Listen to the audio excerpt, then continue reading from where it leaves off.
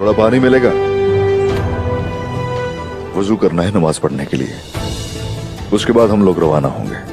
क्या ये नमाज़ का वक्त है? और हमारे दुश्मन? हम अपने रब के आगे सजदा रेस होने पर किसी चीज़ को भी तरजीह नहीं देते। इंतज़ार करो। ये क्या कर रहा है? अपने आप को रब के नज़दीक कर रहा है।